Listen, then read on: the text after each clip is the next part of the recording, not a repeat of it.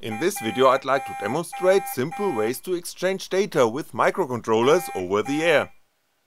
As little helpers I'm using several boards with an 8x8 LED matrix that I have shown in detail in previous videos.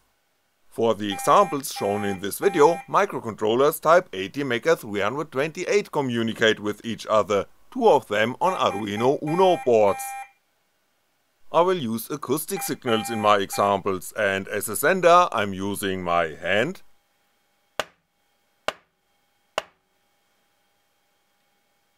and a mini speaker,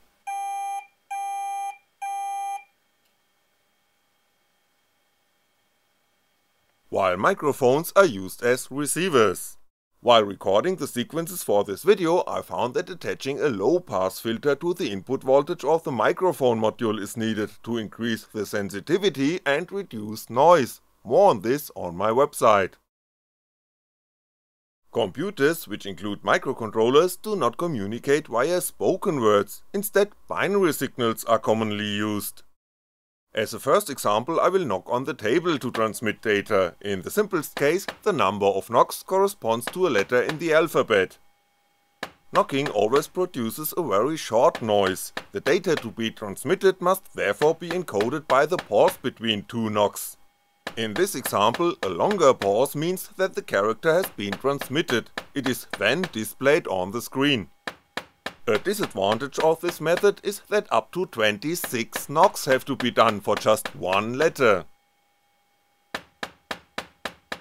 Another problem is that every sound that exceeds the given threshold is misinterpreted as the transmission of a letter. Next I use the so called tap code to transmit data. 25 letters of the alphabet are listed in a table with 5 columns and 5 rows. A letter is transmitted by tapping the number of rows followed by the number of columns, there is a longer pause between the two, also after the transmission of the letter has been completed. After the Arduino has received the row number, a plus is displayed, indicating that the microcontroller waits for the column to be transmitted. After receiving the column number, the decoded letter is displayed. If the received number of rows or columns is too large, a transmission error is detected and the microcontroller jumps back to the previous letter. The same applies for a too long pause between the two tap signals.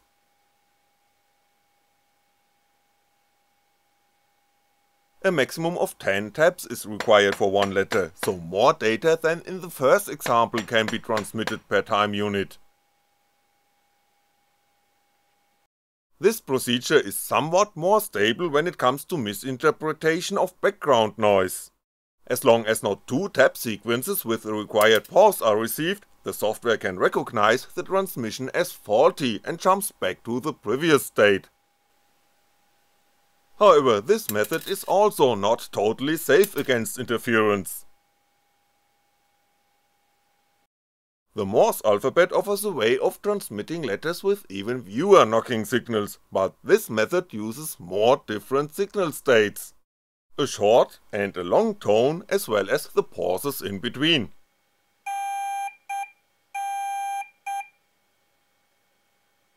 Since a long tone cannot be produced when knocking, the distinction between long and short must be made using the pauses.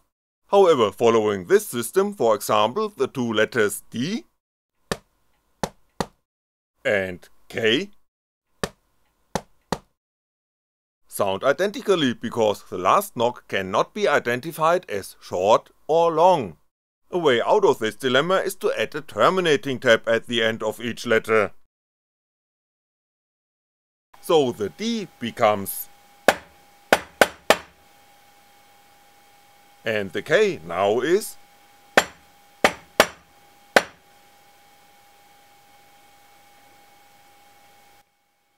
The two letters can now be distinguished same as all other letters of the alphabet as well as the digits and some special characters.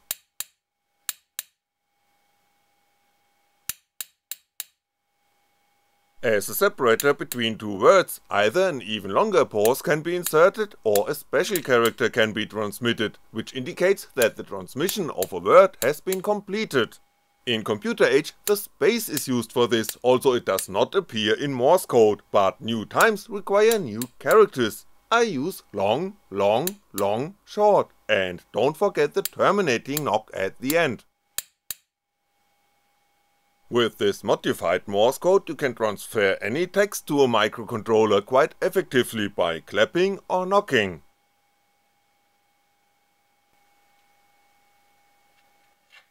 What happens if two of my little helpers are present? Well, both receive the same signals, so the knocked message can be read on both target systems. If you want to transmit data to only one of the two microcontrollers, in addition to the standard for coding letters, another standard for addressing a special target must be created for all listening systems. One method is to assign a unique number, a so-called address to each of the microcontrollers. The digits 0 to 9 are suitable for up to 10 addresses. Each transmission must start by tapping the address of the target system, if the left microcontroller has the address 0 and the right one the address 1, the transmission to the right target begins with 1 in the Morse code with short followed by 4 times long signal and of course the terminating tap. The right microcontroller indicates with a plus that it is waiting for more characters to be transmitted, while the left microcontroller indicates with a minus that it is ignoring these characters. When knocked like this, the message is finally only displayed on the right screen, while the left screen goes back to the old message. Another advantage of this system is that not every environmental sound is misinterpreted as a command to change the displayed message. While without an address almost every sound exceeding a certain threshold is interpreted as a letter,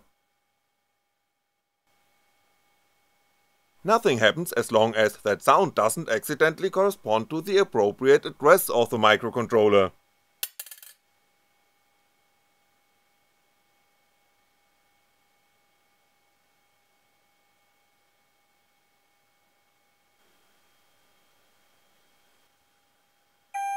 As already said, knocking can only produce a short sound.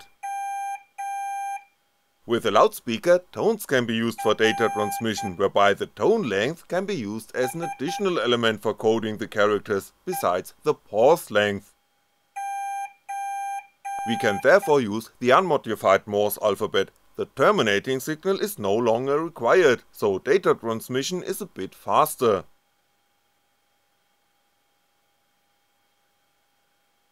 So far I have only transferred data to the microcontrollers, it is getting more interesting when all systems involved are able to communicate with each other.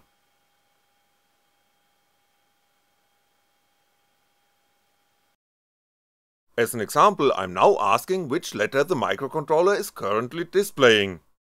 Here too there must be a standard that says when a microcontroller should send data, for that purpose I use another special character that I define as long, short, long, short, long.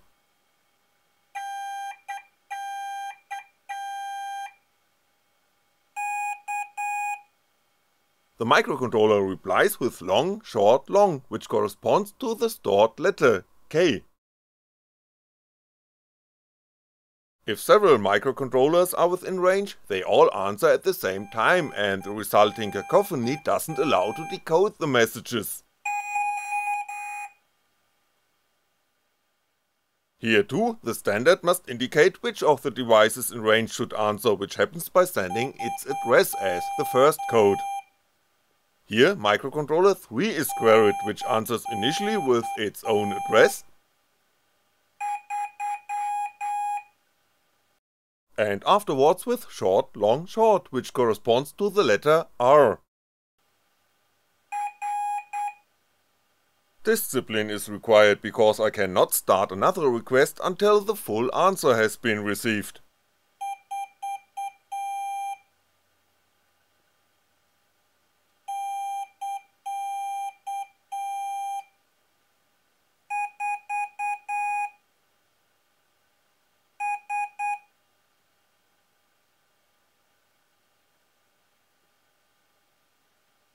According to this principle, the microcontrollers can exchange data with one another.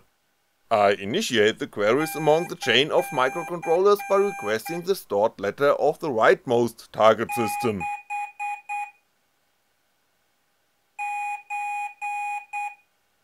The controller responds with its address and long, long, long short for the saved space. This microcontroller then asks for the letter stored by the microcontroller to its left, which causes that letter to move one position to the right.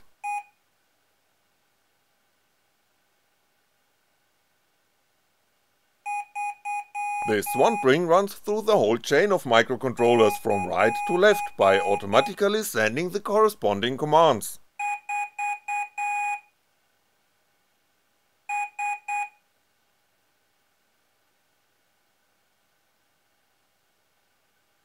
The currently active microcontroller first sends its own character to the right microcontroller by morsing this address and the stored letter.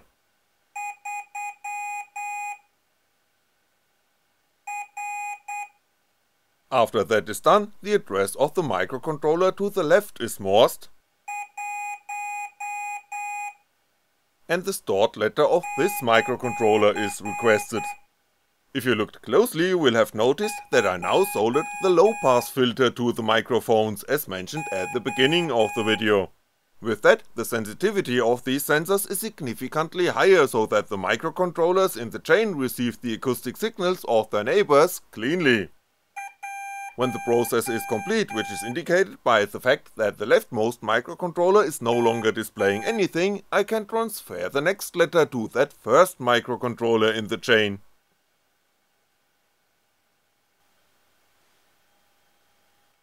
As already shown, several letters or words can be transmitted to a microcontroller, the message is then displayed as ticker. Noise can cause a transmission to run incorrectly.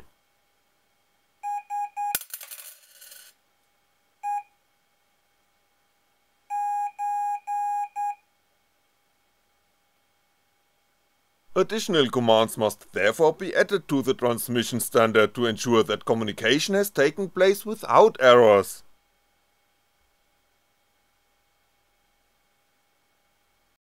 To do this I create a new code table in which all characters consist of 8 tones, with which theoretically 256 different combinations are possible. Since 51 combinations are sufficient to transfer text and digits as well as some special characters, I only use every 5th possible combination. An error in the transmission can now be detected in two ways. On the one hand, each character must consist of 8 tones followed by a longer pause. If this is not the case, at least one tone must have been omitted, or additional tones have falsely been identified due to background noise. If 8 tones were correctly received but a long was interpreted as short or vice versa, there is a chance of 4 to 5 that this combination cannot be assigned to any valid character, so that the transmission is also recognized as faulty. A special character signals to the sender that the message must be repeated, the screen shows the number of errors found.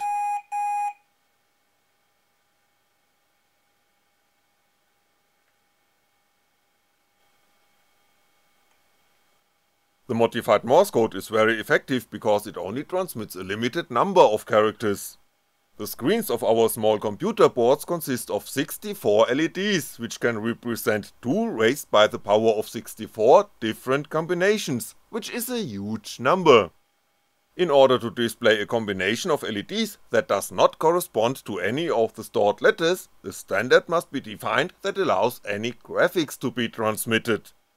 This can be done by another special character indicating that the following signals must be assigned to a graphic.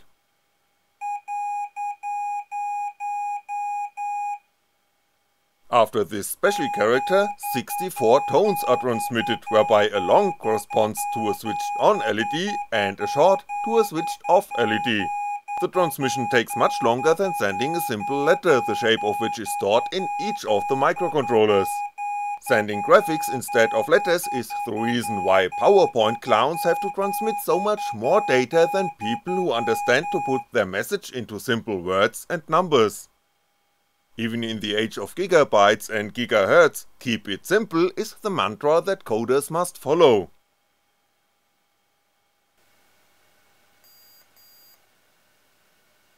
The basic rules of data transmission with acoustic signals also apply to wired communication.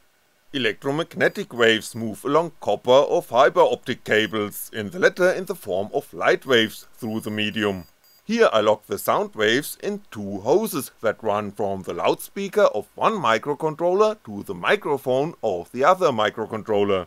This means that the sound can hardly be heard outside, the two microcontrollers now communicate via the rubber cables. A major advantage of wired communication is that ambient noise is largely blocked, even with the simple Morse code the transmission succeeds without errors despite external background noise.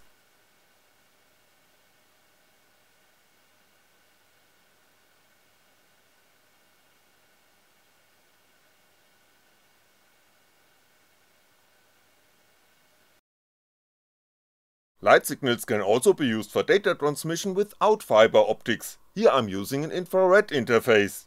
The same basic rules apply to addressing the microcontroller and to coding the information, I use the Morse alphabet once more for data transmission to the 5 target systems. That's all for my introduction to the world of data transmission, as always, more information as well as the software examples used in this video can be found on my website. If you want to support me in my efforts to create more such learning videos that can be copied, edited and shared by anyone for free, you are welcome to click the donate button on my website, many thanks to all existing backers. There's a lot to be said for example on the subject of frequency detection with microcontrollers in order to be able to transfer data more efficiently. Thanks for watching and I'll be back.